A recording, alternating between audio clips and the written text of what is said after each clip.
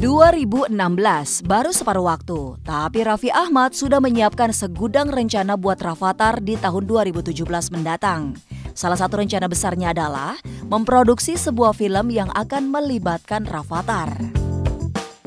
Rafathar udah top lah dia. Nanti aku juga mau banyak rencana bikin bajunya Rafathar udah ada, playground udah siap, ulang tahunnya dia. Dia mau bikin film Rafathar main, keren yang nyulik papanya ceritanya jadi penjahat bikin film Rafathar pokoknya tahun depan Rafathar biar lebih top lagi deh Niat Raffi menerjunkan Rafathar ke dunia layar lebar bukan tanpa alasan. Saat ini, banyak sekali fans yang menginginkan putra Raffi dan Gigi itu bermain film. Iya Rafathar tuh banyak yang kenalin, udah banyak banget yang kenalin gitu. Kadang kita juga bingung. Rafathar top dia. Ya biasanya kalau ketemu aku sama Gigi yang dicari pasti sama orang-orang Rafat Rafatarnya. Rafatarnya mana? Rafatarnya mana gitu ya.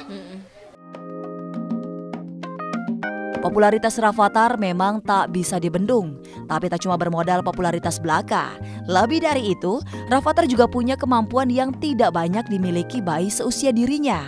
Dan di balik semua itu, ada tangan dan hati sang bunda Nagita Slavina ya seneng lah namanya kan juga baik kan apalagi masa-masa yang umur segini tuh kan emang harus distimulasi terus gitu kan diajak main diajarin ini itu gitu sih paling